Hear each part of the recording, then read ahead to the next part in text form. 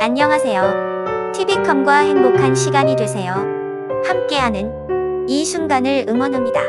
먼저 구독과 좋아요 꼭 부탁드립니다.